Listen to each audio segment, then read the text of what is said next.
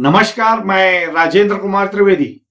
आज पुनः आपके समक्ष एक नए विषय, नए मुद्दे को लेकर उपस्थित हुआ हूँ और उम्मीद करता हूँ कि वीडियो के अंत तक आप मेरे साथ बने रहेंगे। विषय है पुलिस आयुक्त बृहन मुंबई की अगली नियुक्ति को लेकर। क्योंकि 30 जून 2022 को आगे का एक्सटेंशन मिलने की संभावना न के बराबर होने की वजह से पुलिस आयुक्त विद्यमान पुलिस आयुक्त श्री संजय पांडे जी 30 जून 2022 को रिटायर होने वाले हैं। उनके बाद नया सीपी कौन होगा? इस बारे में मार्केट में कई तरह की चर्चाएँ शुरू हैं। उसमें इंटरेस्टिंग जो चर्चा है, जो चर्चा है दागी पुलिस अधिकारियों के बारे में। क्योंकि दागी पुलिस अधिकारियों का यहाँ इसलिए मैं चर्चा करना चाहूँगा, बताना चाहूँगा उनकी मालूम तो उनका कहना है कि जब शिवसेना के कुछ बागी उम्मीदवारों, बागी विधायकों को या उनके दम पर भारतीय जनता पार्टी अपनी संभवित दो चार दिनों में अगली सरकार बनाने की या प्रस्थापित करने की कोशिश कर रहा है या कर सकते हैं तो हम दागी अधिकारियों का विचार क्यों न किया जाए? उनका कहना है, जिसमें कि कुछ जो चार पाँच अधिकारी हैं, उसमें क्रमांक एक पर श्री परमवीर सिंह जी हैं। जिन पर की कई संगीन अपराध दर्ज हैं सस्पेंडेड हैं, कोर्ट से उनको कुछ इम्यूनिटी मिली हुई है, और सीबीआई उनके प्रकरण की जाँच कर रही है। उनका कहना है कि वे, क्योंकि वो भी 30 जून को रिटायर होने वाले परंतु उनको विश्वास है, दृढ़ विश्वास है, कि उनके रिटायरमेंट की पूर्व संध्या को वे निलंबन तोड़कर पुनः पुलिस विभाग में आएँगे, और अपने सर्विस का एक्सटेंशन सरकार से प्राप्त कर पुलिस आयुक्त पद पर विराजमान होंगे।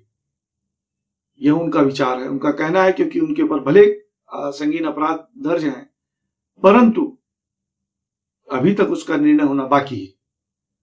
वही द्वितीय क्रमांक में माते रश्मि शुक्ला जी, जिन पर पुणे और मुंबई में दो अलग अलग ठिकाने पर उनके ऊपर टेलीफोन रिकॉर्डिंग पॉलिटिकल लीडर्स लोगों के और अन्य लोगों के टेलीफोन इंटरसेप्शन करने के संगीन अपराध दर्ज है। परंतु उनका कहना है, अपराध भले दर्ज हो, न उन्हें अरेस्ट किया गया है, न ही कोई अभी तक उस पर निर्णय हुआ। भले चार्जशीट चली गई, परंतु निर्णय अभी तक नहीं हुआ है।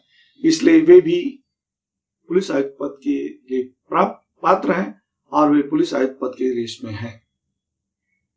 और उनका कहना है कि, जो मार्केट में बताया जा रहा है कि उनका ऐसा मानना है कि जिस मुद्दे को लेकर उन्होंने रिकॉर्डिंग की है उन मुद्दे को लेकर आने वाली सरकार में सरकार को उनकी काफ़ी मदद मिल सकती है। वहीं joint CP law and order present joint CP law and order Nagre Patil ji का प्रमोशन हुआ, होना है, जिससे चलते वहाँ उनकी बदली होने वाली है, जिसको ध्यान में रखते हुए ज्वाइंट सीपी दर्जे के श्री रविंद्र अनंत सिसवे, जो आजकल ह्यूमन राइट कमीशन में है, उनकी भी उत्साह बढ़ा हुआ है। उनका कहना है, यदि इंटरसेप्शन की गुना दाखिल होने के बावजूद रश्मि शुक्ला जी को पुलिस आयुक्त पद प्राप्त होता है तो उनका ये मानना है कि उनसे अच्छा कौन इलीगल सीडीआर निकाल सकता है या इंटरसेप्शन कर सकता है। तो इसके चलते अगर उन्हें वहाँ लॉ एंड ऑर्डर का पद दिया जाए तो रश्मि शुक्ला जी के कार्य में काफ़ी मदद हो सकती है। क्योंकि वे इलीगल तरह से सीडीआर निकालना या टेलीग्राफिक एक्ट के कायदों का वायलेशन करने में भी काफ़ी महारत हासिल है। इसलिए उनको joint CP law and order पद के लिए उनका चयन करना पुलिस आयुक्त, भावी पुलिस आयुक्त को मददगार व सरकार के लिए काफ़ी उपयोगी रहेगा। वहीं श्री आगे और एक नाम चर्चा में है, श्री सुबोध कुमार जायसवाल जी का। कहना है कि उनको यह सत्य है कि मोका कोर्ट ने विशेष मोका न्यायालय, उन्होंने उनके बारे में स्ट्रिक्चर पास किए हैं कि उन्होंने तेलगी प्रकरण में तेलगी को मदद की मौका के आरोपी को, परंतु उनके ऊपर कोई संगीन अपराध अभी तक दर्ज नहीं है।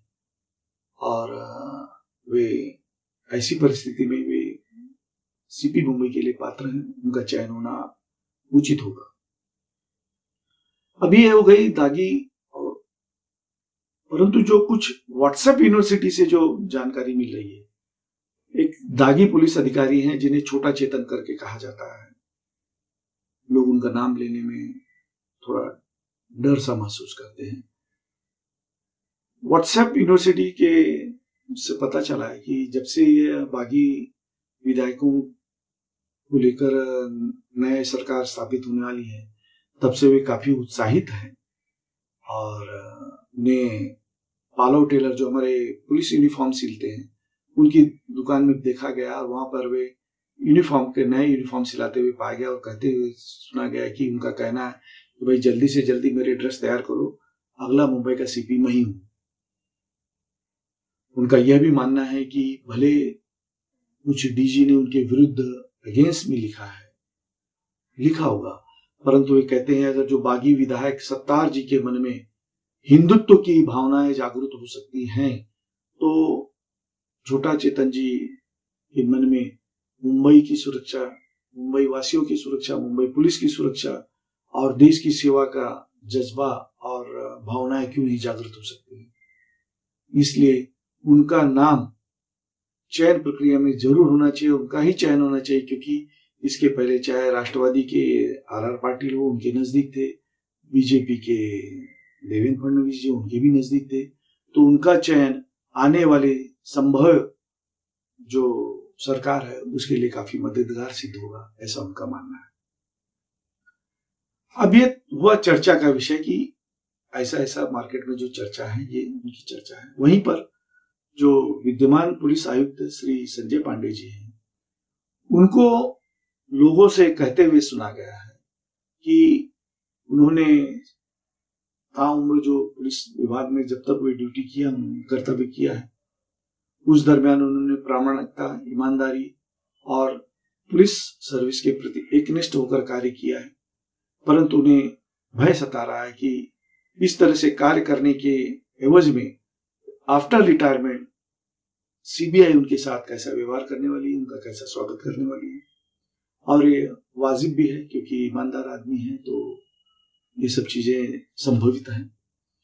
खैर, श्री संजय पांडे जी के रिटायरमेंट लाइफ के लिए मैं शुभकामनाएँ देता हूँ और प्रतीक्षा करता हूँ कि अगला नवनियुक्त पुलिस आयुक्त कौन होगा।